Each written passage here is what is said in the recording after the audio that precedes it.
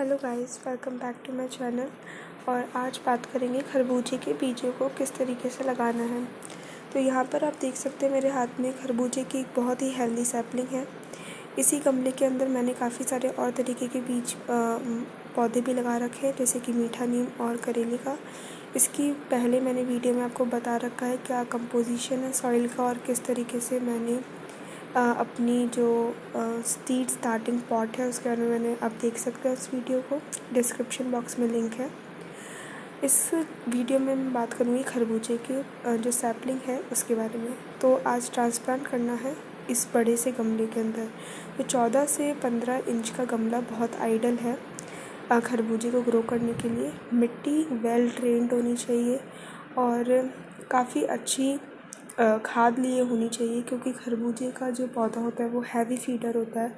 आपको बीस परसेंट तक मैन्योर होनी चाहिए, उसके अंदर बीस परसेंट कोकोपीट होना चाहिए और बाकी गार्डन सॉइल शुरू में इतना ही, बाद में आपको रेगुलर इंटरवल के टाइम में मैन्योर डालनी है।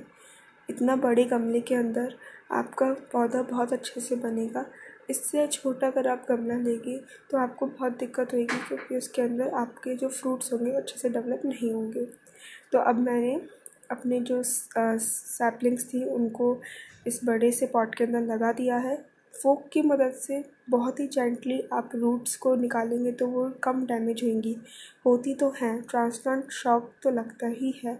तो उसके लिए आपको सबसे बेहतरीन उपाय जो है, वो है स्टिक्स जो नारियल की झाड़ू होती है, उनकी आप स्टिक्स को बराबर हिस्सों में तोड़ के इस तरीके से लगा सकते हैं। मैंने दो स्टिक्स की मदद से इस सैपलिंग को सपोर्ट दिया है।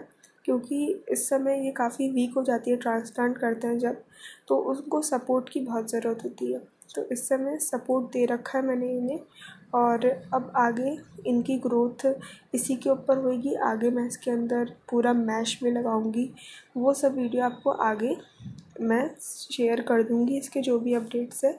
अभी फ़िलहाल आपको कुछ बातों का ध्यान रखना है। कि मिट्टी जो होनी चाहिए, जब आप ट्रांसप्लांट करते हैं, वो मॉइस्ट मिट्टी हो तभी करें। सूखी मिट्टी के अंदर करेंगे तो आपके प्लांट के मरने के चांस जो हैं, वो सिक्सटी सेवेंटी परसेंट हो जाते हैं। इसकी वजह से और दूसरी बात है सपोर्ट देना। आपको ट्रांसप्लांट करने के बाद अपने पौधे को सपोर्ट देना है और उसके अंदर पानी की मात्रा भी काफ़ी रखनी है। बिल्कुल उसको गीला कर दीजिए, इतना अच्छे से मिट्टी को। है ना? और फिर आप देखिए कितना अच्छा रिज़ल्ट मिलता है। यहाँ इस समय सैपलिंग आपको दिख रही होंगी। थोड़ी सी मुरझा गई हैं।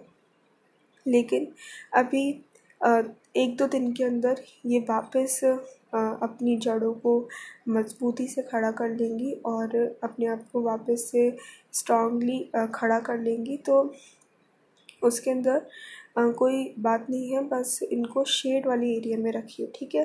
तो आज के लिए इतना ही। Thank you for watching the video